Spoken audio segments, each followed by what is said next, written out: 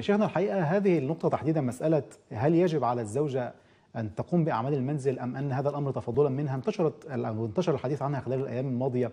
نريد منك جوابا عن هذا الأمر.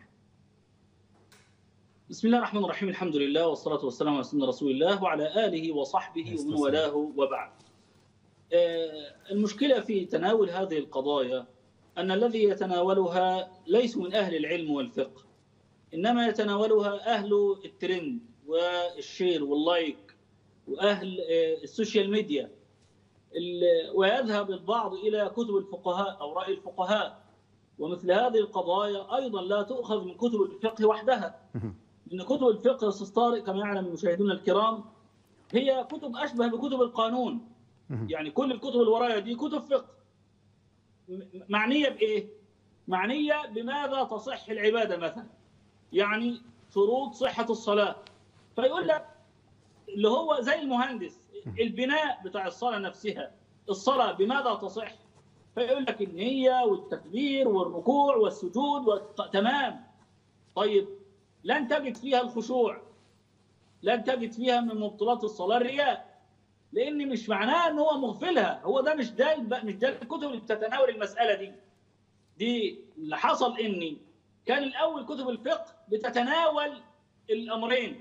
اللي هو الفقه بمعناه العام لقوم يفقهون. أي نعم. اللي هو الفقه بمعناه القرآني اللي هو الجمع بين الشكل المظهر والمخبر الشكل والجوهر لكن حينما جاء التخصص بدأ الكتب تنفصل فيبقى كتب الفقه معنية بصحة العباد شكلا ولكن مش شكلا معناه يعني عدم أهميته لا هو مهم. لكن ولذلك تقسم نوعين قضاء وديانة. يعني مثل إيه؟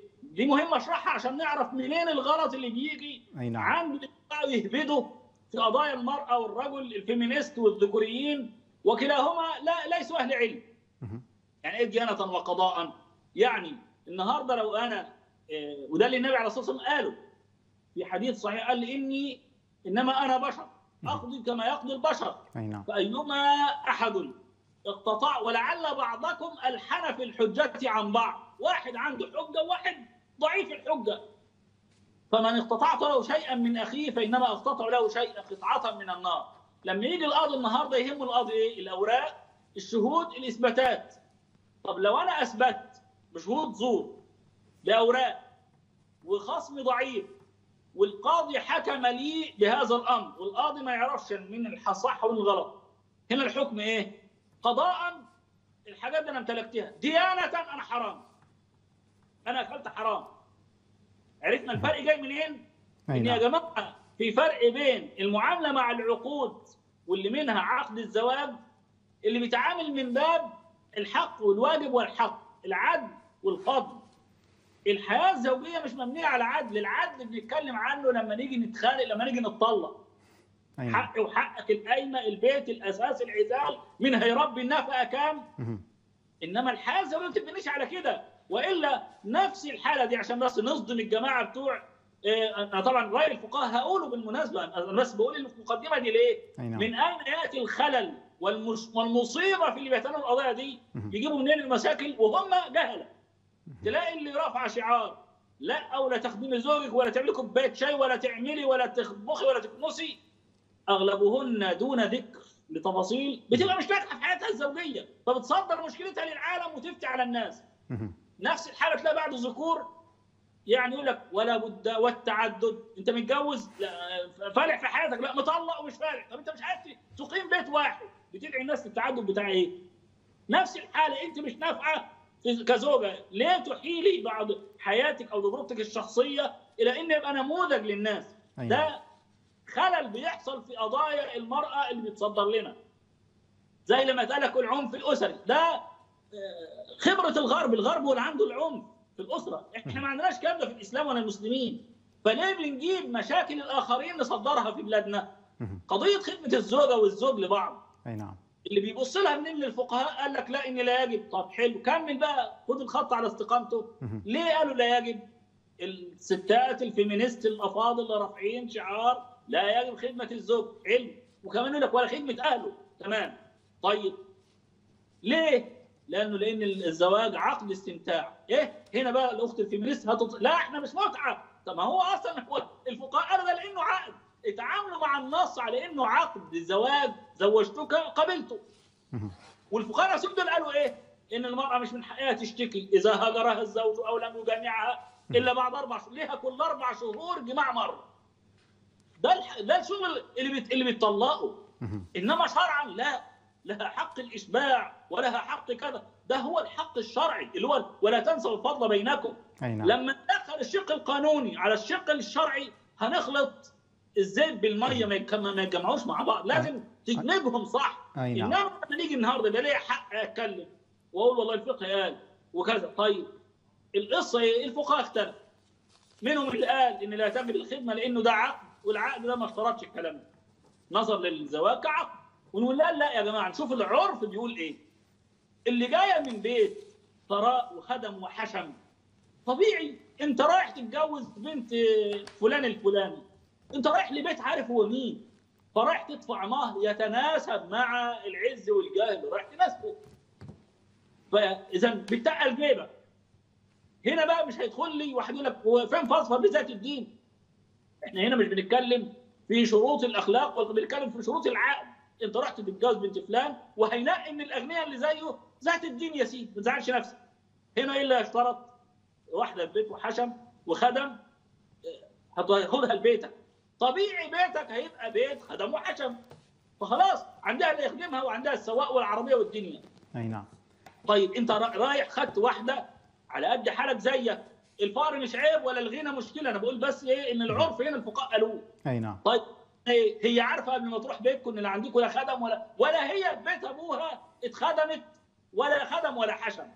خلاص جت من بيت أبوها إلى بيت الزوج اللي شافت أمها وأهلها بيتعمل مع بيتعمل. وكم من بيوت أثرياء يأبون إني اللي يطبخ إلا المرأة نفسها جوزي ما ياكلش إلا من إيدي.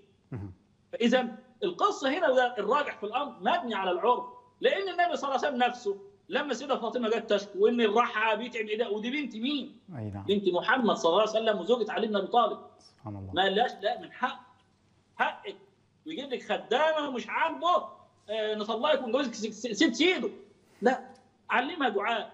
وعلمها إيه اللي يعمله سيدنا علي في خارج البيت وايه اللي هو هي بتعمله جوه البيت. وعلمها ذكر يعينها على هذه المشقة. سيدة نعم. أسماء الصديق بنت مين؟ بنت أبو بكر الصديق اللي أعتق عبيد ورقيق وعنده المال. بس لما تزوجت تزوجت صحابي فقير اسمه الزبير بن العوام. رآها النبي صلى الله عليه وسلم صحيح البخاري. وتحمل النوى على رأسها. شايله الناو الناو بتاع البلح ده. أي بعد نعم فعلف للفرس بتاعه. ولقيها النبي صلى الله عليه وسلم تحمل على رأسها. فكان راكبا ناقته فأناخها للناقة كما في الحديث الصحيح يعني. أي نعم. فالكامية قالت يا رسول الله تعلم ما في الزبير من غيره. الزبير غيور يعني أي شيء لو عرف إنك أنت يتضايق أي نعم. لكن هنا مين اللي كان بيعرف الفرس؟ أسماء بنت مين؟ بنت واحد أعتق بلال وأعتق زنيرة وأعتق عدد من ال- ال- الرق يعني عنده فلوس عنده. لكن هي راعت ظروف الزوج. معلش بقى فين حقي والله معلش أنا جاي من بيت ما تجيش تبهدلني. هنا العرف بيحكم بين الناس. نعم. العرف ليه؟ لإني لما ندخل المسائل القانون هنا ده الخطأ. ذاك لما بيجي لنا في البرنامج هنا أسئلة وتقول لك وزوجي بيقول لي أخدم أمه. طب السؤال؟ بعيد عن الفقه قال إيه والمشايخ قالوا إيه. أها. لو مرات اخوكي أها. ما خدمتش أمك هتعملي فيها إيه؟ لو إيدك تقيلة هتجيبيها من شعرها. ها؟ وهتقولي من قليله الأصل واللي جبناها واللي عملنا. هي دي أم... طب إشمعنى يا جماعة؟ مش عاي... يعني عايزين أم الزوج ده المفروض أم الزوج تقول لها يا أمي. وابوه يا أبي ده دول محرمين تحريم أبدي. نعم. يعني إيه تحريم اب يعني أب وأم بمعنى الكلمة أبوك وأمك. فإذا هنا القضايا اللي زي دي ما بينفعش يرفع فيها شعار لا ماذا لي وماذا علي. سيدنا عمر بن الخطاب لما راح لواحد عايز يطلق مراته قال له ليه؟ قال له ما بقتش ما بقتش احبها كان بيحبها كده. أي نعم. حب يقل شوية. وقال وهل على الحب وحده وتبنى البيوت؟ أي نعم. لو هنعيش بالنهارده حبيت وكرهت هنطلق يجي 8000 مرة في اليوم. مفيش كده. ال- ال- الشيطان بيدخل كثيرا. أي إنما. المسألة بتدور وعاشرون بالمعروف ولهن مثل الذي علينا بالمعروف والذي جعل لنا درجة. ليه اللي خلى النبي عليه الصلاة والسلام لما تموت خديجة رضي الله عنها يذبح أعلم. ويقول اعط لي صديقة خديجة. ليه؟ كانت تزورنا أيام خديجة. ما الحقيقة بقى من الميت. ده الحق الفضل الوفاء. نعم. دي معاني ما بتجيش بالقانون ما بتجيش بالعقود. ما ينفعش هقول في العقد. والله شيخ عصام هعبر عن حبي بواحد اثنين ثلاثة طب لما نعم. تيجي زوجة تشتكي